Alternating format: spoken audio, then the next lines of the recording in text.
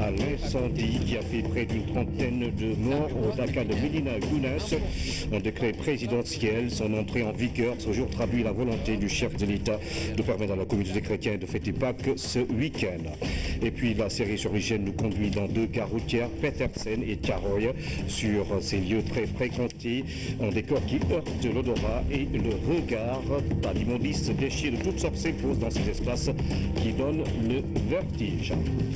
Et puis, euh, nous parlerons des manques sur les étals en cette période de l'année. Étonnant pour certains, et pourtant, le produit est bien présent au marché syndicat de Pékin et à la rue Saint-Denis. Leur provenance, la Guinée, le Mali ou la Casamance. Le reportage du jour s'intéresse à ces différentes variétés qui débarquent sur le marché. Bis Joachim, le terme peut penser, faire penser à un concours de beauté. Détrompez-vous, c'est plutôt une chasse traditionnelle. Ce rituel en pays sévère permet aux saltigués de formuler des pour conjurer le mauvais sort et faire des prédictions sur le prochain hivernage. Décryptage dans la rubrique au cœur de nos cultures. Bienvenue à tous. Le président Macky Sall a reçu ce mardi les membres de la Commission nationale de la concertation sur le poisson lunaire, la CONACOC, qui œuvre pour l'harmonisation de la célébration des fêtes religieuses sous la conduite de Mourchid Ahmed Iyancham. La Commission encourage le programme de modernisation des cités religieuses. Le chef de l'État interpelle aussi ses imams pour la sensibilisation des fidèles face à l'endoctrinement. Abou Bakrikana. L'objectif premier de la CONACOC est de mettre définitivement un terme à la célébration des fêtes religieuses dans la division. Cette audience est l'occasion pour ses membres de revenir sur les principales missions de la structure fédérale. Un privilège qui constitue une première pour les membres de la commission créée en 1996. Ce n'est pas faute d'avoir essayé, mais vos prédécesseurs n'avaient pas eu la chance de pouvoir accorder une telle audience. L'autre preuve est que, Excellence, vous êtes le premier chef d'État du Sénégal, voire d'Afrique, à avoir initié et financé un très important programme de modernisation des, des cités religieuses, toutes confessions confondues. À cet égard, des chantiers foisonnent partout sur le territoire national soyez-en vivement remerciés. Que Dieu soit toujours à vos côtés et en toutes circonstances. La modernisation des cités religieuses, l'amélioration des conditions de vie des compatriotes du monde rural et des zones frontalières à travers le PUDC et le PUMA et la mise en œuvre du PSE trouvent l'adhésion de ces religieux. La divergence sur la détermination des fêtes religieuses affecte l'unité des musulmans mais également le développement du pays.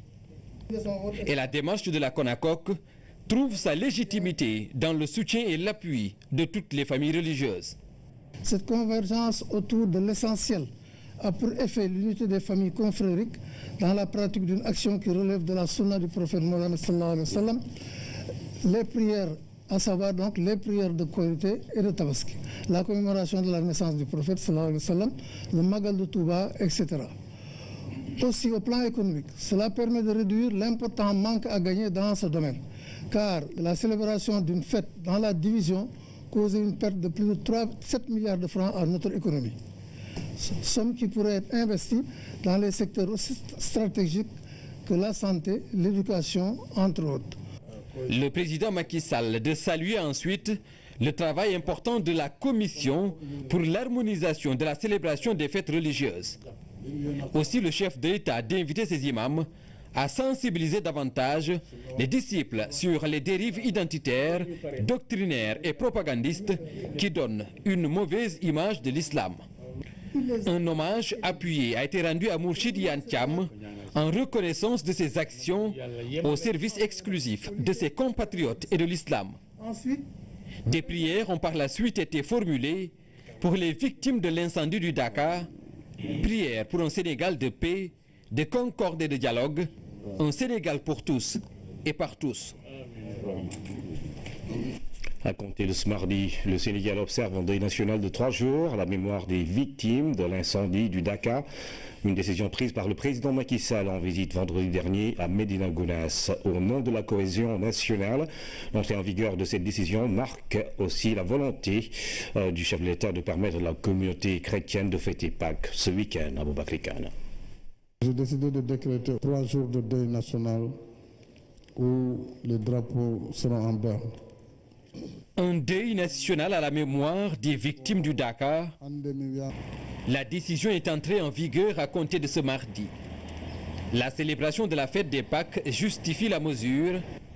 La communauté chrétienne célébrait ce week-end la résurrection du Christ. Pendant ces trois jours, les drapeaux seront en berne. Un geste qui consiste à la montée des couleurs puis à leur descente pour marquer le deuil qui frappe la nation. À la présidence de la République, comme dans plusieurs institutions, les drapeaux sont en berne. L'exception sénégalaise voulant que les fêtes de Tabaski, Korité ou Pâques se fêtent dans la plus grande cohésion, une cohabitation religieuse historique. Léopold Sédar Senghor, fidèle chrétien, a dirigé le Sénégal majoritairement musulman pendant deux décennies avec l'appui constant et sans faille des chefs religieux musulmans. La cohésion nationale est une réalité et les différentes communautés vivent en parfaite symbiose. À compter de ce mardi, et ce jusqu'au jeudi, les drapeaux vont rester en berne. Les choses mondaines vont ainsi céder la place au recueillement, symbole d'un État-nation qui salue la mémoire des fidèles emportés par les flammes d'un incendie survenu lors de la retraite spirituelle du Dakar. Les drapeaux sont donc à Berne à partir de ce mardi jusqu'au jeudi 20 avril. C'est pour marquer justement le deuil national décrété par le président de la République après le drame du Dakar. Les édifices publics se sont adaptés à la mesure. Cette symbolique doit aussi être respectée par les populations qui euh, doivent observer en même temps que la République le deuil national. Jean Dior. Le dernier bilan relaté dans la presse de ce jour fait état de 30 morts, une soixantaine de blessés, en plus du traumatisme que cet incendie a causé. Des instants de deuil qui appellent la compassion. C'est d'abord euh, la compassion que nous avons tous devant ce, drame qui a touché des citoyens sénégalais euh, à qui l'État euh, doit protection. Je pense qu'en dernier lieu, vraiment, c'est l'introspection. Maintenant, d'une façon matérielle, comment on matérialise, tous les drapeaux sont en berne, même la République s'incline. Les drapeaux sont à mi-hauteur dans les institutions et ambassades.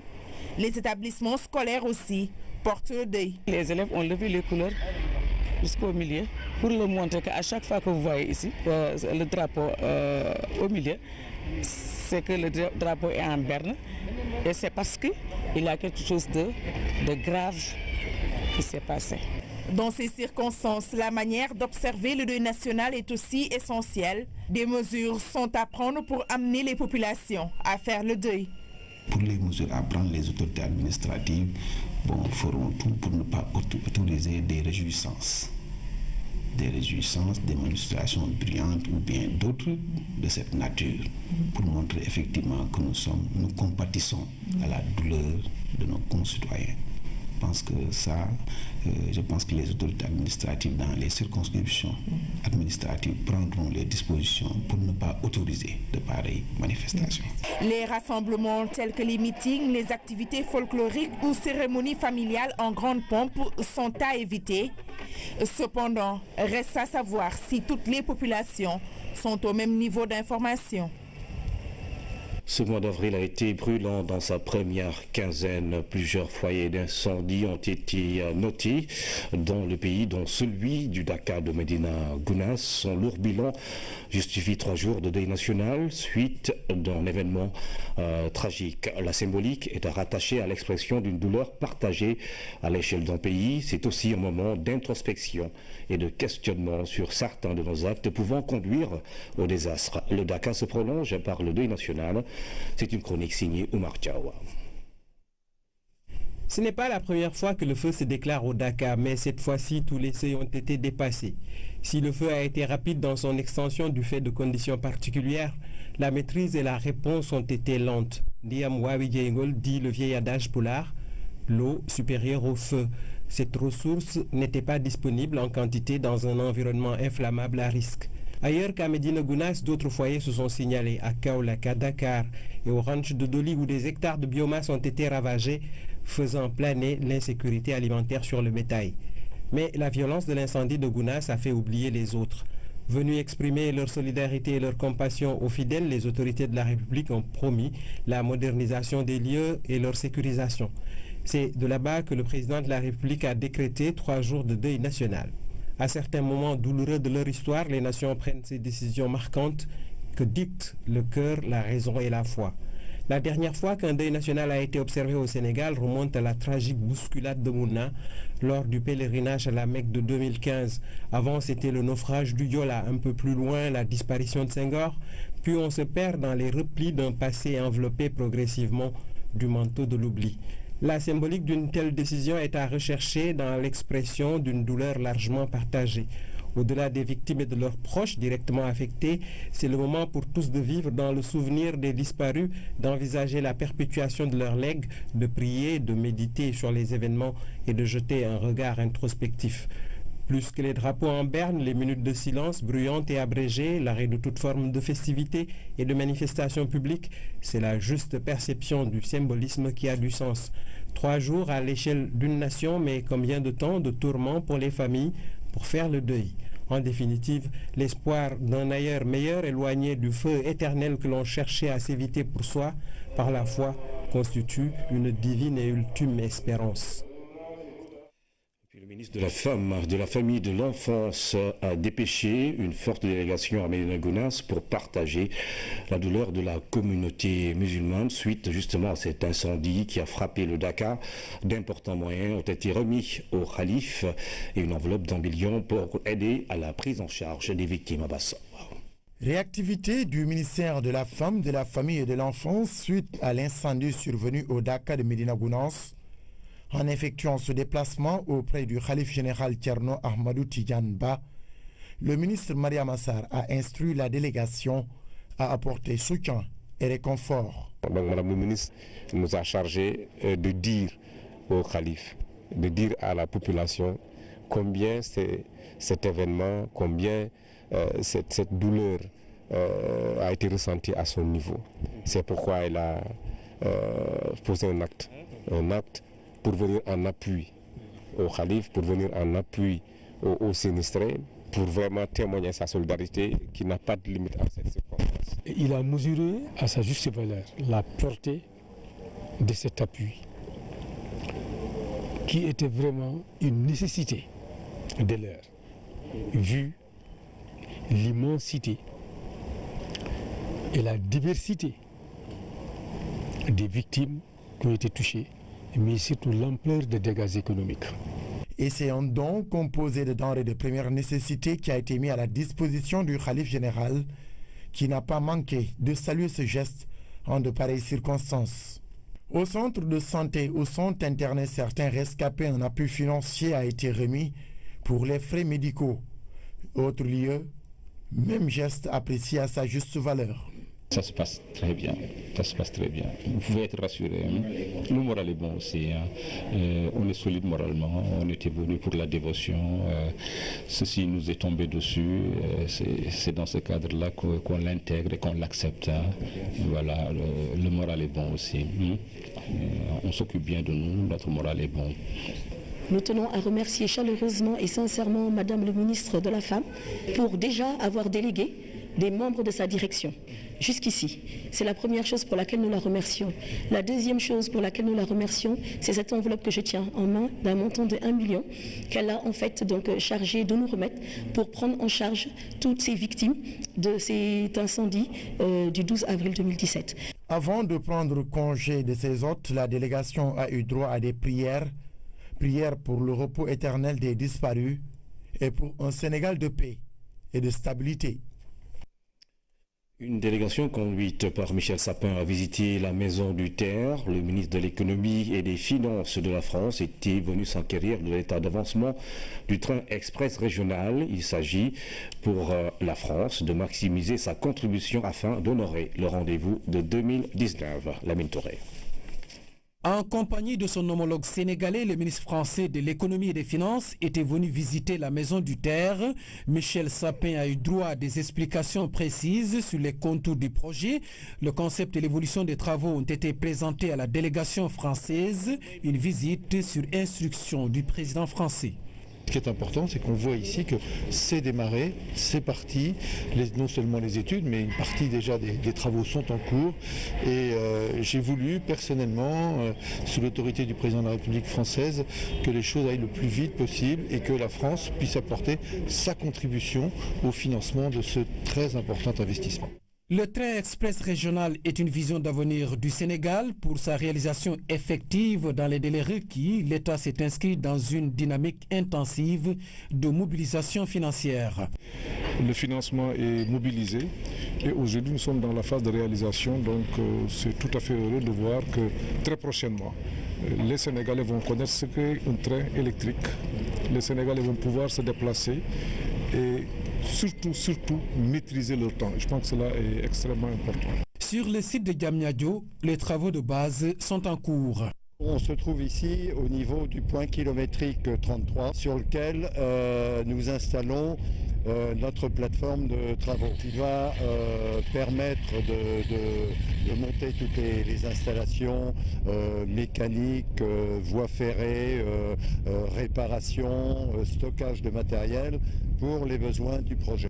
Aller vite et bien faire, les entreprises titulaires du marché sont à pied d'œuvre. Deux axes prioritaires sont en exécution sur des portions à faible densité. Il y a deux axes euh, de priorité qui euh, se déroulent en parallèle. C'est le schéma de communication sociale euh, qui permet de libérer les, emprises et les mettre à disposition des titulaires des marchés. Le deuxième axe, c'est euh, le planning directeur qui permet une coordination des actions entre les titulaires des marchés pour pouvoir démarrer les travaux. Nous avons aujourd'hui euh, euh, démarré le chantier. Les terrassements de la plateforme sont en cours d'exécution. Aujourd'hui, ils ont finalisé pour la partie terrassement pour à peu près à 8 km. Les plateformes d'études de travaux prennent forme à trois mois seulement de mise en œuvre. L'objectif pour l'APIX est d'être au rendez-vous de 2019, date de démarrage de l'exploitation du terre. Le Sénégal invité d'honneur du Forum de Tunisie, euh, plus exactement à Tabarka. Les organisateurs de ce forum international sur le développement en Afrique ont choisi notre pays du fait de ses performances économiques dans le cadre du PSE. Le TIFAD, nom du forum, est prévu à partir du 27 avril prochain. Écoutons à ce propos un des promoteurs de cette plateforme de promotion des investissements en Afrique. C'est un grand événement pour l'Afrique euh, on, est, venu au Sénégal pour vraiment euh, exprimer toutes euh, les chances pour les Africains pour se donner main dans la main et travailler ensemble pour un, avenir meilleur. Donc on a lancé un slogan que l'Afrique avance. suivez la cadence. Donc on essaiera de rythmer la cadence pour avancer tous ensemble. L'Afrique, elle est là, elle est, elle est puissante, elle est capable par son énergie, par ses compétences, par ses richesses donc il faut trouver le moyen, l'encadrement pour les faire développer et faire euh, vraiment motiver les Africains pour qu'ils avancent ensemble. Donc on est là pour toucher toutes les institutions africaines et c'était la deuxième édition l'année dernière. À chaque année, on prend un, pays africain pour euh, que ce soit un pays euh, d'honneur. Cette année, le, pays à l'honneur, c'est le Sénégal. Donc le Sénégal, il est appelé pour qu'il vienne en force et, présenter toutes les possibilités, toutes les possibilités d'investissement au Sénégal. Notamment, vous avez un projet qui attire toutes les intentions du monde, euh, suivi par le président de la République, on remercie de, ce plateau. Euh, le PSE, le plan du Sénégal émergent. Donc on a été conseillé aussi, on a touché euh, son Excellence Madame l'ambassadeur en Tunisie. Et donc on se prépare pour un, un événement, grand événement pour les Africains qui est appelé TIFAD. TIFAD, c'est Tabarka International Forum on African Development. On a, on a inspiré ça des Japonais donc, et on se sentait capable de faire comme eux et voir mieux. Donc on est capable, tous africains, tous ensemble, on a tout ce qu'il faut pour réussir et pour avancer ensemble. Ce mardi ont débuté les séances plénières de la première session ordinaire 2017 du Conseil économique, social et environnemental. Face au conseiller, le ministre en charge du budget, Billy Mamangara, s'est prononcé sur le thème équité, transparence et justice fiscale. Céline Lunfala. Première session ordinaire du Conseil économique, social et environnemental, les plénières ont démarré. La commission genre, équité et bonne gouvernance a ouvert les débats. Équité, transparence et justice fiscale, quel gage pour une justice sociale au Sénégal? Ce thème a soulevé des interrogations mais également des recommandations de la part des conseillers. Le ministre du Budget, Birima Mangara, a apporté des précisions. Le Code général des impôts a fait l'objet de plusieurs réformes, de plusieurs modifications avec des innovations majeures. Et cela a pour souci de procéder à une meilleure redistribution et à une équité malgré la persistance d'inégalités que vous avez ça et là soulevées. La fiscalité a été plusieurs fois abordée par les conseillers qui ont demandé au ministre du Budget d'éclairer leur lanterne à ce sujet. Pour la première fois, on a constaté un gouvernement qui procède à une réforme, à une réforme de l'impôt sur le revenu qui arrive en conclusion à dégager des moins-values budgétaires de 40 milliards, dont 40 milliards ont été retournés aux bénéficiaires de revenus. Le projet d'avis sur l'équité et la transparence préparé par la commission Genre, Équité et Bonne Gouvernance a été adopté à l'unanimité par les conseillers. La tournée du coordonnateur national du PUMA, le programme d'urgence et de modernisation des axes et territoires frontaliers a pris fin à Karang, une commune dans le département de Foundiougne, non loin de la Gambie. Le CRD spécial, présidé par le gouverneur, a permis d'échanger sur les euh, euh, préoccupations des différents acteurs, mais également sur le contenu du programme Claire Job. La commune de Karang, dans le département de Foundiougne, région de Fatigue, a accueilli avec beaucoup d'enthousiasme la délégation du comité de pilotage du Piment. La zone frontière à la Gambie fait face à beaucoup de difficultés. Des schémas frontaliers ont été proposés et sur cette base, une matrice d'action prioritaire a été dégagée. Aujourd'hui, il était question de descendre sur le terrain pour rencontrer les acteurs et le Piment est attendu sur plusieurs questions. Nous sommes dans une commune frontalière qui manque pratiquement de tout. L'éclairage public qui pose un problème vraiment très particulier ici. Du manque d'eau. Si je vous dis aujourd'hui qu'il y a des populations de Karang qui s'approvisionnent en eau à partir de la Gambie. Euh, ensuite, nous avons un problème de santé. Nous avons une population d'environ de 22 000 habitants qui a, et on a un seul poste de santé avec un infirmier. Le reste, c'est des, c'est des agents communautaires. À cela s'ajoutent des dysfonctionnements dans les secteurs de l'éducation, de la sécurité, des télécommunications, entre autres. Ces requêtes serviront à mieux affiner la feuille de route pour dérouler avec succès le programme. Nous avons eu beaucoup de choses à échanger, nous avons appris beaucoup de choses qui vont nous permettre, dans les prochains jours, de donner au président de la République euh, une matrice d'action quand même la plus optimisée possible. Partout, euh, la participation a été quand même euh, très bien vue et les populations ont été sensibilisées.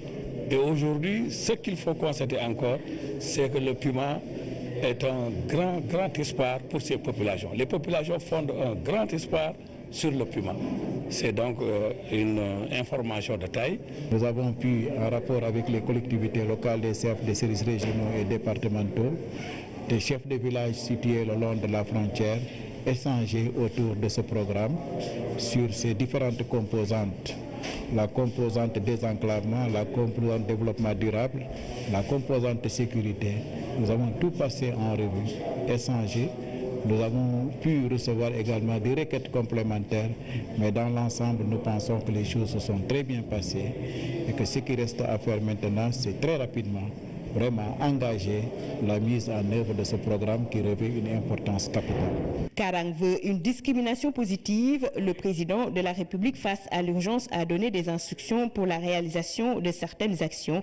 Et sur le terrain, le piment a commencé le travail. Les populations en verront les premiers résultats sous peu.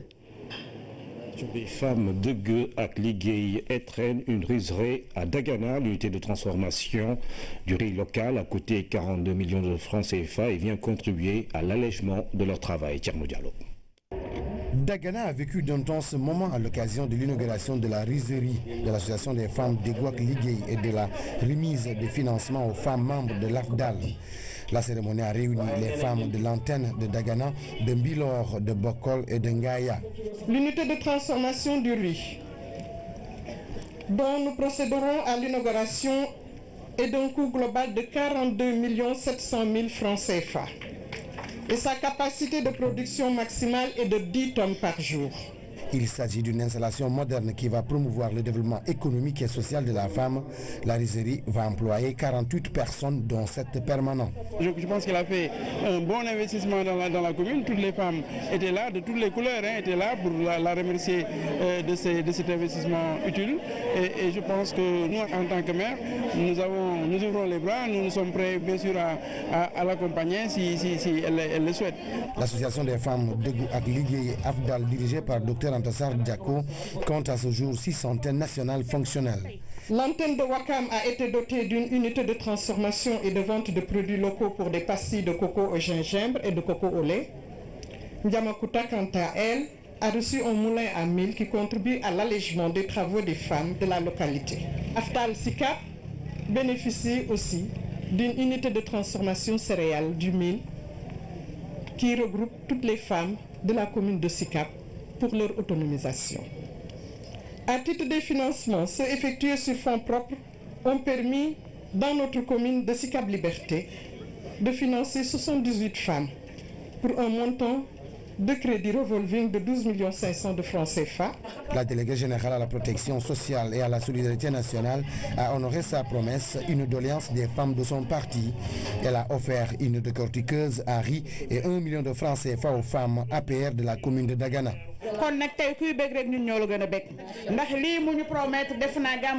Nous sommes très contentes. Elle a tenu sa promesse. Antassar Diako nous avait promis une décortiqueuse et un million de francs CFA, ce qu'elle vient de faire. Nous lui sommes reconnaissantes et la soutenons. Grâce à la garantie apportée par la présidente de AFDAL, le docteur Antassar Diako, Cori Microfinance a octroyé un financement de 272 millions de francs CFA à 41 groupements de femmes de Ngaya, Mbilor, Dagana et Bokhol, tous membres de l'association AFDAL. Made in Sénégal, c'est le nom de la plateforme euh, de commerce en ligne destinée à soutenir la commercialisation des produits des PME sénégalaises. Ce projet mis en place avec le soutien de l'OIF et le Centre du commerce international a été officiellement lancé par le ministre en charge du commerce. Le reportage d'Alsan la croissance exponentielle de l'Internet et son accessibilité progressive à une large frange de la population sénégalaise constitue une donnée majeure dans le développement rapide de l'investissement enregistré dans le secteur du commerce en ligne. Aujourd'hui, grâce à son dynamisme, le e-commerce a donné une nouvelle dimension au secteur de la distribution au Sénégal. Les sites de vente en ligne poussent comme des champignons en dépit des lenteurs notées dans la mise en place d'un système de paiement fiable. C'est dans ce contexte que le ministre du Commerce, en charge de la promotion des produits locaux et des PME, par l'entremise de la CEPEX, vient de mettre sur orbit une plateforme dénommée Made in Sénégal. Ce projet stratégique qui cible dans sa phase initiale une vingtaine de PME relevant de l'agroalimentaire, de l'artisanat et des services bénéficie de soutien de l'organisation de la francophonie OIF et du Centre du commerce international, convaincu de son importance pour booster l'économie. Cette plateforme Made in Sénégal est très importante. Tout d'abord, elle permet à nos petites et moyennes entreprises d'être connectées au marché mondial, d'amplifier donc le niveau de leurs euh, échanges avec leurs clients. Pour le Sénégal, c'est très important puisque vous savez que près de 70% de nos échanges extérieurs, nous le faisons avec l'Afrique. et donc permettre à une PME, au lieu de subir, j'allais dire, les difficultés des, infrastructures de déplacement pour accéder à certains de leurs marchés en Afrique, pouvoir avoir une plateforme qui leur permet justement, avec le web, se connecter directement à leurs clients, naturellement, est quelque chose de très très très utile. Selon une enquête qui date de l'an 2015, un million de consommateurs sénégalais déclarent avoir déjà effectué un achat en ligne. C'est dire que les citoyens se sont déjà appropriés cet instrument, conscients qu'ils sont des enjeux économiques et commerciaux qui sous-tendent l'essor du e-commerce. La Commission nationale du dialogue des territoires travaille à l'élaboration d'un cadre juridique et institutionnel propice à la mise en œuvre de l'intercommunalité. Elle propose un projet de loi d'orientation après une étude qui a révélé des faiblesses dans les politiques définies depuis l'indépendance. La CNDT en a fait l'annonce à l'ouverture euh, ce matin de sa session ordinaire au Biatoba. Des retrouvailles pour des échanges sur une gouvernance locale nouvelle la Commission nationale du dialogue des territoires œuvre pour l'instauration de l'intercommunalité. Maintenant, il y a 500 et quelques communes au Sénégal. Il y a 45 départements au Sénégal. C'est maintenant des cultures locales. Il faut qu'on sache de quoi on, parle. On il y a plus de régions comme culture territoriale. Donc on a dit qu'il faut qu'on ait un texte qui donne une orientation très claire sur ce qu'on va faire ensemble par rapport à la coopération communale, intercommunale et par, par au département également, tout ça, ça fait l'intercommunalité, c'est un texte de base, un texte de, référence. Partir avec tout le monde, les acteurs locaux d'abord, les experts avertis sur les hommes de terrain, Bref, toute l'administration sénégalaise est impliquée. Pour une intercommunalité efficace, un cadre juridique et institutionnel doit être créé. Un projet de loi d'orientation est proposé par la CNDT, un texte de loi avec des nouveautés. Cette intercommunalité devra être articulée autour des objectifs euh, de développement durable, les ODD, mais aussi et surtout des objectifs euh, du plan Sénégal émergent qui constitue le cadre de référence de l'ensemble des politiques publiques. Nous proposons la mise en place de ce que nous suggérons euh, comme étant un établissement public territorial, justement à fiscalité propre. Le projet de loi d'orientation de l'intercommunalité sera au cœur d'un atelier prévu les 30 et 31 mai prochains. La CNDT va partager les résultats de ses travaux avec tous les acteurs de la gouvernance locale. 3000 nouveaux agents de la sécurité de proximité entament leur formation.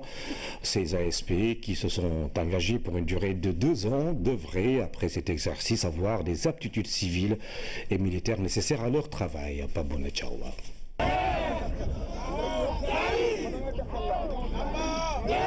Pas de temps à perdre, les choses sérieuses ont vite commencé pour ces nouveaux ASP. 45 jours de formation, dont 15 pour faire naître l'esprit militaire en eux.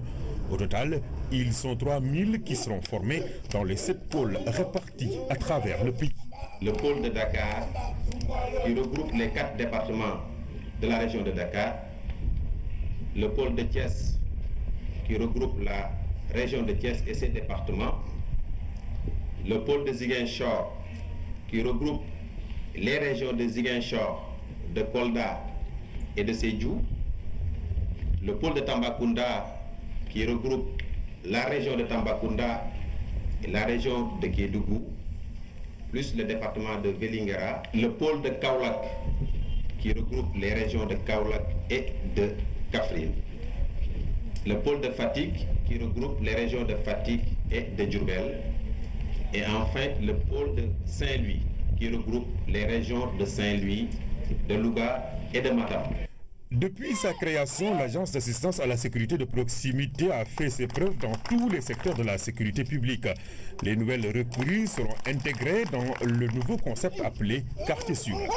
Le quartier sûr constitue une plateforme d'action sécuritaire autour de M. le préfet et les délégués de quartier afin de discuter de la sécurité au niveau des quartiers, ce qu'on a appelé la table sécuritaire de quartier avant de mettre en œuvre l'action.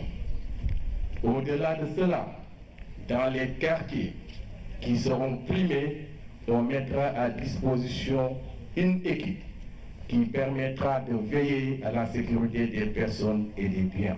Nous avons pu relever dans la pratique et au quotidien le rôle extrêmement important que ces vaillants agents jouent aussi bien dans le domaine de la sécurité que dans les autres aspects du fonctionnement de l'administration. Sur les visages des nouveaux se reflète l'enthousiasme, la détermination et le désir ardent de servir son pays. La motivation est surtout vouloir servir mon pays. Parce que j'ai toujours eu l'idée que une fois je, dois servir mon pays. Parce qu'un bon citoyen doit vraiment servir son pays. Dans un mois et demi, le nouveau contingent des ASP sera prêt pour le service. Des 10 000 agents de la première promotion, 3 000 ont bénéficié d'une insertion professionnelle.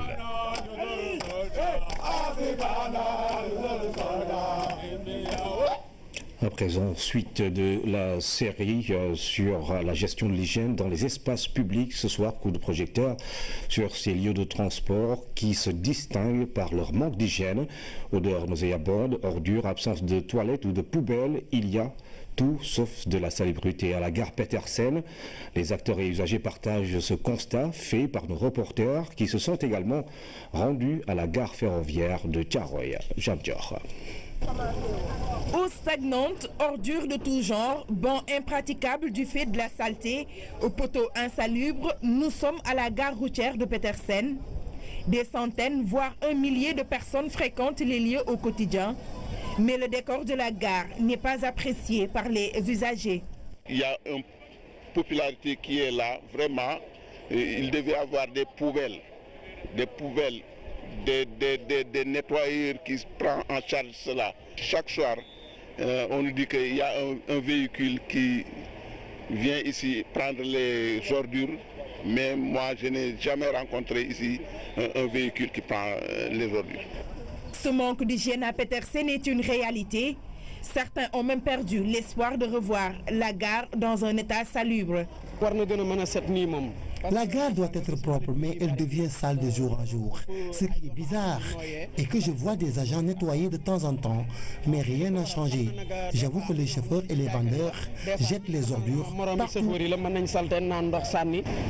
La gare de Petersen est d'une insalubrité inquiétante. J'hésite même à manger à cause de la saleté. Les véhicules qui sortent d'ici donnent 100 francs pour le nettoiement et l'entretien des lieux. Mais c'est étonnant de voir que Petersen n'est jamais propre. Parfois, nous nous cotisons pour évacuer notre poubelle. Certains posent un problème de gestion de l'hygiène, d'autres dénoncent le comportement des usagers. Les passagers des bus et cars se sentent aussi concernés. Ils déplorent le visage de ce lieu du transport urbain. Ça manque encore beaucoup d'hygiène. Il y a de l'insalubrité. Il y a des poubelles de gauche à droite les gens mangent ça comme ça dans la rue. Je n'aime pas ici, mais je suis forcée de venir parce que c'est tellement sale. Ici, si tu es à personne, cinq fois dans la journée, tant que les mentalités ne changent pas, ça ne pourra pas évoluer. Quoi. Je n'ai jamais vu quelqu'un nettoyer ici. Autre type de transport, même décor, la gare ferroviaire de Tiaroy. Tasse de café et sachets d'eau vide sur la voie ferrée de la poubelle jetée ça et là. Le lieu accueille du monde, le marché et ses occupants, les voyageurs et les riverains. Les gens mangent du n'importe quoi avec leurs sachets et tasses de café. Ils les jettent comme ça. Nous, on n'a pas de poubelle ici. Pour le moment, la toilette est bouchée. En attendant que l'eau de la seule toilette soit évacuée, certains passagers et acteurs du marché Tiaroy se soulagent sur les murs. Et pourtant, le lieu de commerce dispose d'une toilette publique. Une situation désolante. Il y a un proverbe Wolof qui dit que la rue appartient à tout le monde. Donc chacun agit en fonction de sa mentalité. Tu vois, même des passagers du train jettent le reste de leur petit déjeuner.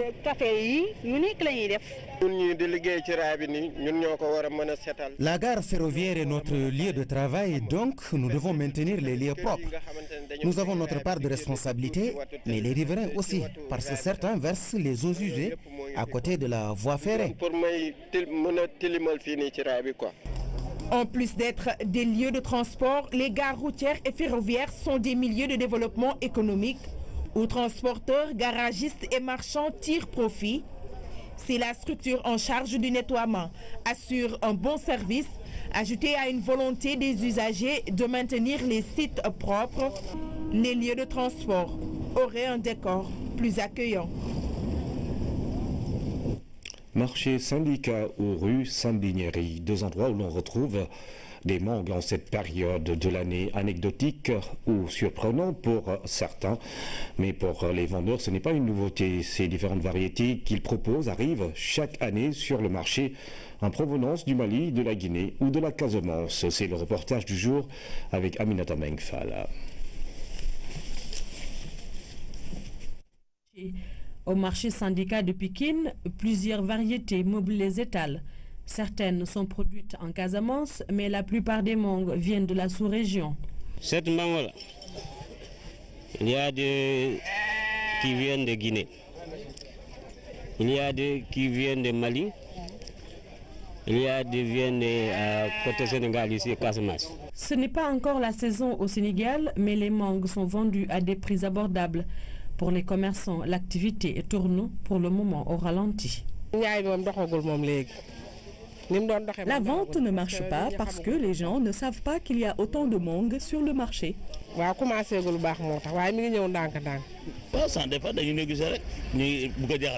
Ça dépend. Le kilo de mangue Bukodjahal coûte 500 francs, la mangue de la Casamance 600 francs, celle qui vient du Mali 700 francs.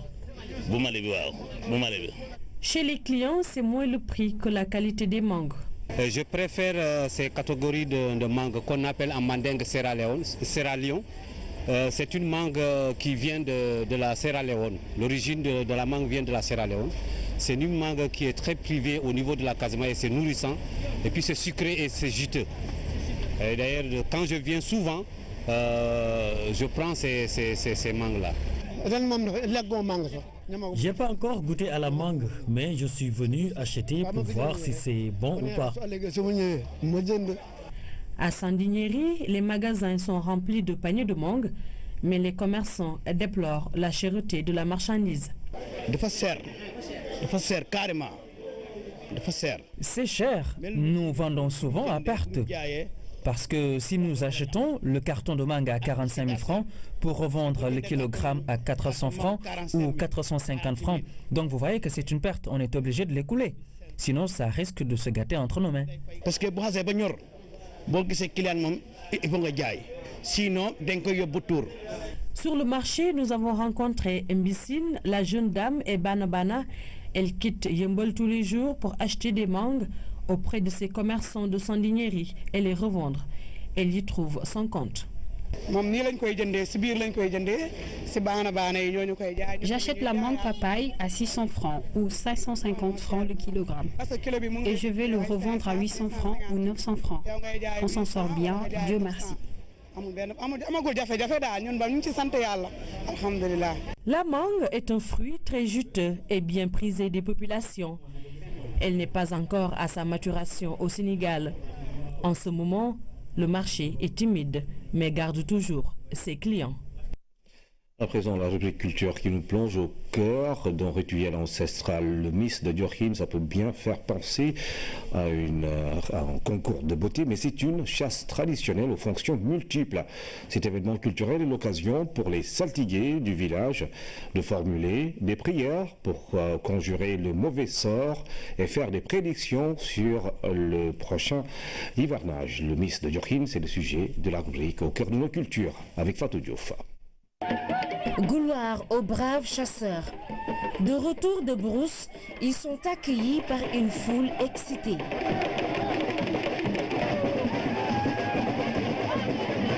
Les chasseurs font cette fois le tour du grand fromager mystique, où le chef de canton, Madjoyin, rendait justice. Ah, c'est un retour aux sources. Pour nous, la chasse est un legs de nos anciens. Elle se fait sous l'égide des trois saltigués amenés par le saltigué en chef venu du village de Poultok. Il y a aussi les saltigués de Djoï et des autres villages environnants.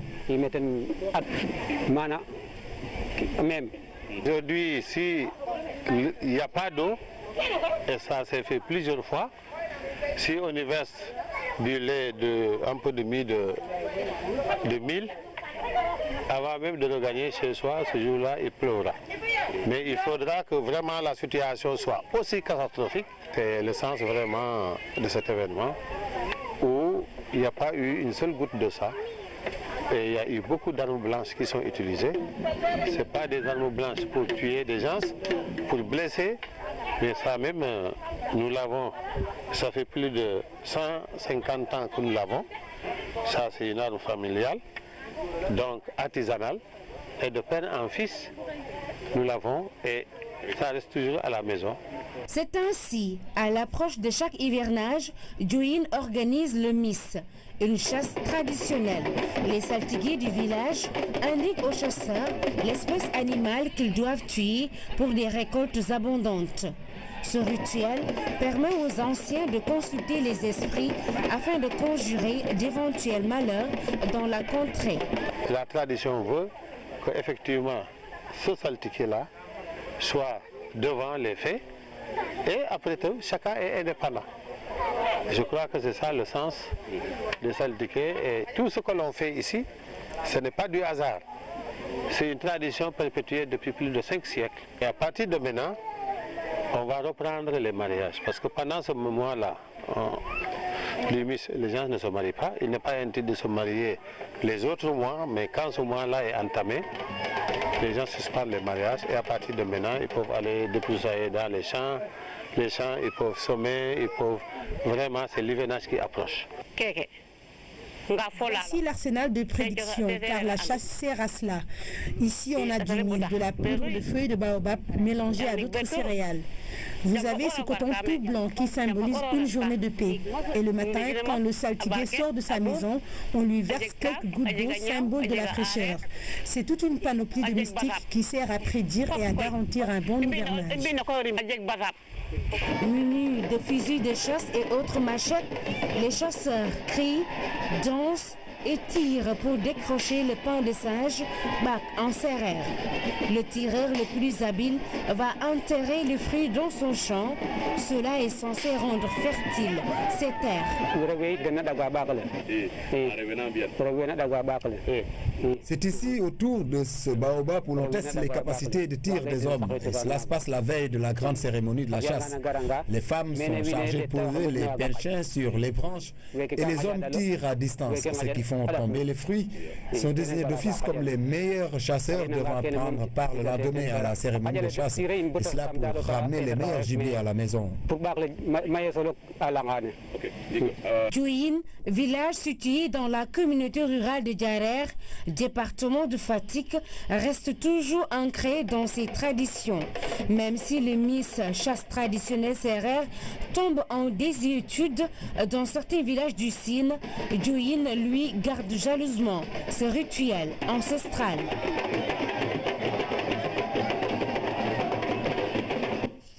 La rubrique au cœur de nos cultures, c'est tous les mardis. La journée du prisonnier célébrée à Dakar en hommage aux prisonniers palestiniens en signe de solidarité et de militantisme. Le collectif de solidarité Sénégal-Palestine dénonce à nouveau cette agression sur le peuple palestinien qui, depuis 1967, a enregistré plus d'un million de prisonniers en record, record sur le plan international, phénomène Constance Diagne. 6500, c'est l'effectif des prisonniers palestiniens détenus dans les géoles israéliennes en 2016. Une situation qui viole la quatrième convention de Genève. Parmi eux, 170 femmes, 1384 enfants de 11 à 18 ans, entre autres. Entre 2016 et maintenant, il y a près de 100 000 Palestiniens qui ont connu des détentions plus ou moins arbitraires la forme la plus achevée étant ce qu'on appelle la détention administrative, c'est-à-dire l'arrestation, souvent violente, sans inculpation, sans jugement, c'est-à-dire sans procès, sans avocat, et avec toutes sortes de mesures de brimade et de vexation et d'humiliation sans distinction de catégorie. Cette célébration de la journée du prisonnier coïncide avec une grève de la faim pour tous les prisonniers palestiniens où qu'ils puissent être, une façon de dénoncer leurs conditions de détention, un combat que le Sénégal soutient à sa manière. Le citoyen lambda, comme on dit, il a la possibilité de manifester sa solidarité euh, euh, en accrochant un drapeau à son domicile, en mettant un autocollant sur sa voiture, en créant euh, un poème, une chanson, un tableau d'art. donc autant de manifestations possibles. Les associations que nous sommes, nous avons effectivement la responsabilité de rendre plus massive cette dynamique de soutien. L'importance d'une telle question, c'est que ça nous permet de démontrer combien le peuple palestinien reste encore incarcéré, non seulement ces 7000 prisonniers dans les geôles israéliens, ou non seulement le million qui est passé au moins une seule fois depuis 1967, mais c'est un échantillon représentatif de tout un peuple qui vit dans un état d'emprisonnement. Un état d'emprisonnement dont la Palestine souhaite vivement être libérée. Son peuple, aidé des pays frères, espère et continue de lutter pour son indépendance et sa souveraineté. L'actualité dans le monde nous conduit ce soir au Japon où le vice-président américain a engagé avec le Premier ministre japonais des discussions sur la défense du territoire avec les essais nucléaires nord-coréens. Nous parlons aussi de l'anticipation probable des législatives en Grande-Bretagne pour préparer le Brexit. Et puis, au Gabon, opposition et pouvoir se concertent à nouveau. Reprise du dialogue politique au Gabon après cinq jours d'interruption. L'opposition et le pouvoir vont entrer dans le vif du sujet avec des questions stratégiques liées à la réduction du mandat présidentiel passant de 7 à 5 ans et plafonné à 2 ans, l'élection à deux tours pour la présidentielle. Ils vont également discuter du mode de désignation des membres de la Cour constitutionnelle ou encore du fichier électoral. Une grande partie des leaders de l'opposition a répondu à cette invitation à l'exception du candidat Jean Ping qui conteste toujours les résultats de l'élection présidentielle passée qui avait consacré Ali Bongo Dimba. Le vice-président américain en visite à Tokyo réitère l'engagement des États-Unis à protéger le Japon face aux essais nucléaires nord-coréens. Mike Pence a entamé cet après-midi les pourparlers avec le premier ministre japonais à propos des tirs de missiles vers l'archipel. Le dernier test en date a eu lieu ce dimanche en mer japonaise et la Corée du Nord indique son intention de renouveler très souvent ce genre d'opération. Le Japon prévoit pour sa part de dépêcher des forces militaires dans la péninsule coréenne pour protéger ses ressortissants en cas de crise. Le Premier ministre britannique appelle à des législatives anticipées en Grande-Bretagne pour permettre aux populations de s'exprimer sur les conditions de sortie de l'Union européenne. Annonce faite trois semaines après le déclenchement du Brexit, Theresa May a annoncé que ces élections anticipées permettront au pays d'être plus stable politiquement pour engager ces deux années de négociations à venir avec l'Union européenne. En principe, les élections législatives devraient se tenir en 2020. Les députés semblent favorable à cette anticipation puisque le chef de l'opposition travailliste a accueilli cette annonce du Premier ministre britannique avec enthousiasme. C'est la fin de cette édition. Mesdames et messieurs, merci encore une fois de suivre l'actualité tous les jours sur la première chaîne de télévision sénégalaise.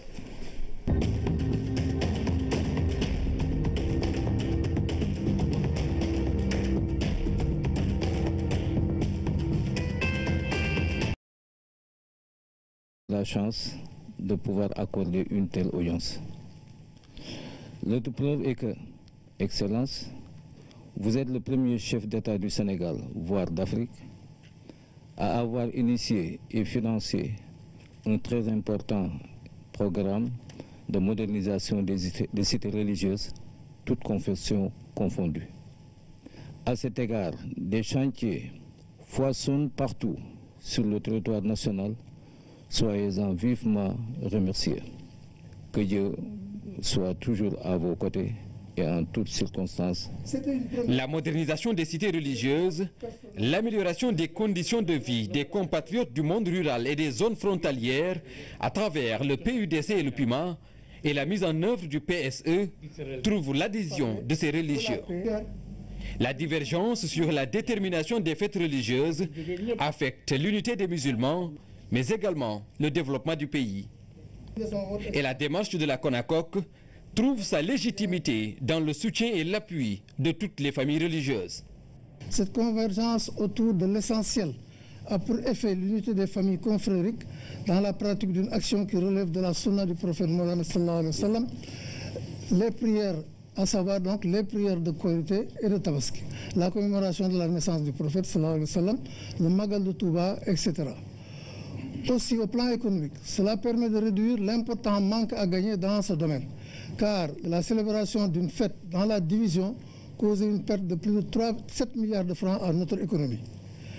Somme qui pourrait être investie dans les secteurs aussi stratégiques que la santé, l'éducation, entre autres. Le président Macky Sall de saluer ensuite le travail important de la commission pour l'harmonisation de la célébration des fêtes religieuses. Aussi le chef de l'État d'inviter ses imams à sensibiliser davantage les disciples sur les dérives identitaires, doctrinaires et propagandistes qui donnent une mauvaise à l'incendie qui a fait près d'une trentaine de morts au Dakar de Medina.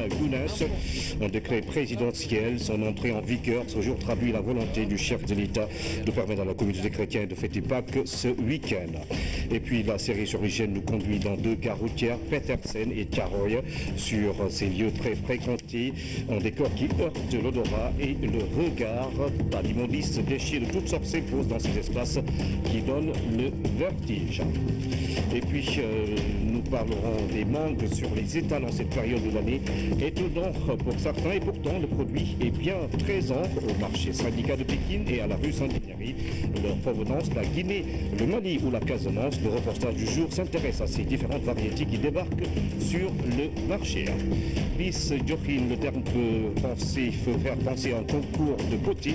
Détrompez-vous, c'est plutôt une chasse traditionnelle. Ce rituel en pays sévère permet aux saltigués de formuler des prières pour conjurer le mauvais sort et faire des prédictions sur le prochain hivernage.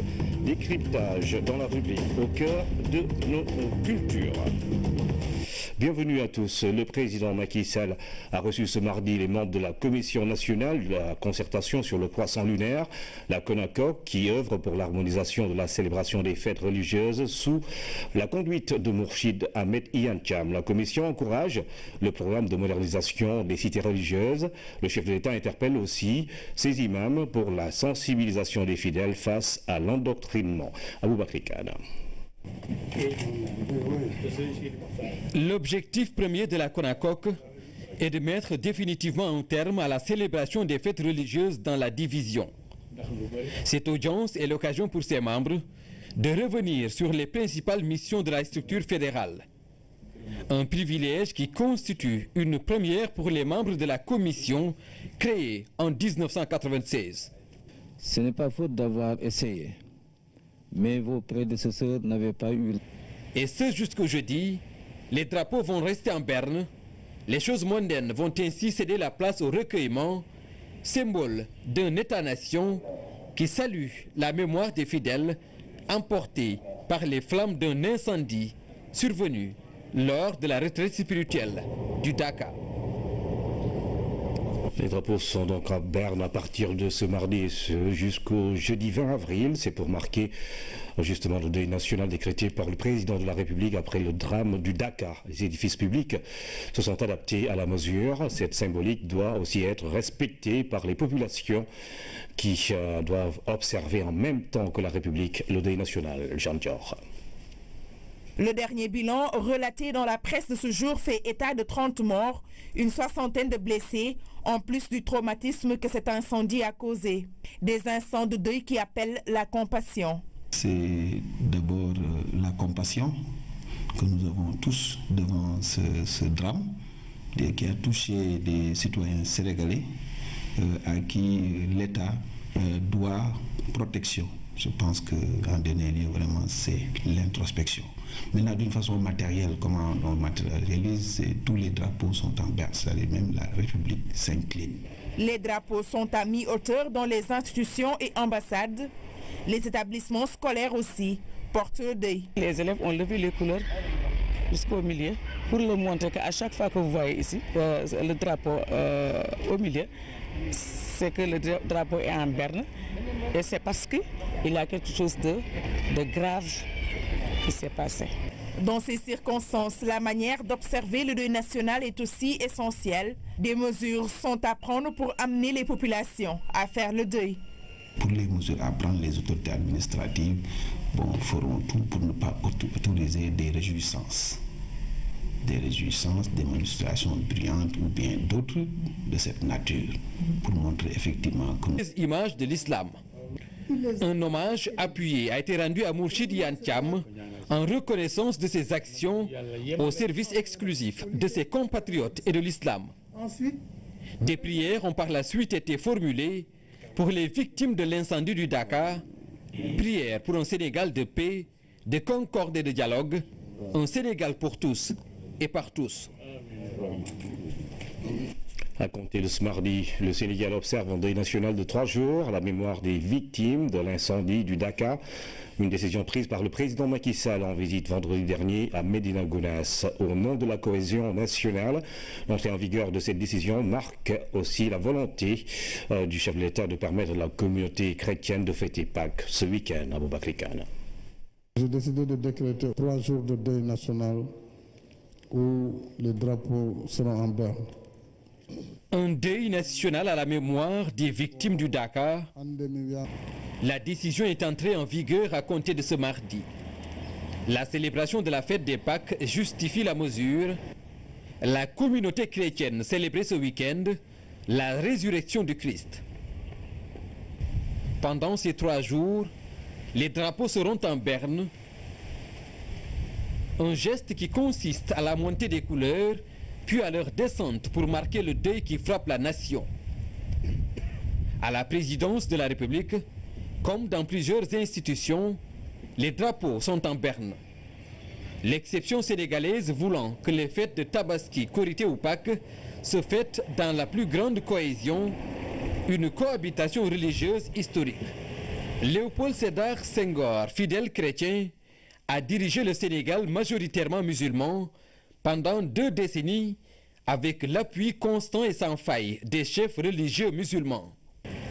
La cohésion nationale est une réalité et les différentes communautés vivent en parfaite symbiose. À compter de ce mardi, nous, sommes, nous compatissons à la douleur de nos concitoyens. Je pense que ça, euh, je pense que les autorités administratives dans les circonscriptions administratives prendront les dispositions pour ne pas autoriser de pareilles manifestations. Les rassemblements tels que les meetings, les activités folkloriques ou cérémonies familiales en grande pompe sont à éviter. Cependant, reste à savoir si toutes les populations sont au même niveau d'information. Ce mois d'avril a été brûlant dans sa première quinzaine. Plusieurs foyers d'incendie ont été notés dans le pays, dont celui du Dakar de Medina Gounas. Son lourd bilan justifie trois jours de deuil national suite d'un événement euh, tragique. La symbolique est rattachée à l'expression d'une douleur partagée à l'échelle d'un pays. C'est aussi un moment d'introspection et de questionnement sur certains de nos actes pouvant conduire au désastre. Le Dakar se prolonge par le deuil national. C'est une chronique signée Oumar Tchawa. Ce n'est pas la première fois que le feu se déclare au Dakar, mais cette fois-ci, tous les seuils ont été dépassés.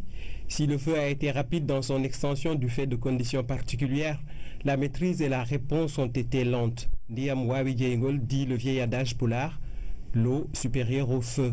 Cette ressource n'était pas disponible en quantité dans un environnement inflammable à risque. Ailleurs qu'à Medina Gounas, d'autres foyers se sont signalés à Kaolak, à Dakar et au ranch de Doli où des hectares de biomasse ont été ravagés, faisant planer l'insécurité alimentaire sur le bétail. Mais la violence de l'incendie de Gounas a fait oublier les autres. Venus exprimer leur solidarité et leur compassion aux fidèles, les autorités de la République ont promis la modernisation des lieux et leur sécurisation. C'est de là-bas que le président de la République a décrété trois jours de deuil national. À certains moments douloureux de leur histoire, les nations prennent ces décisions marquantes que dictent le cœur, la raison et la foi. La dernière fois qu'un deuil national a été observé au Sénégal remonte à la tragique bousculade de Mouna lors du pèlerinage à la Mecque de 2015.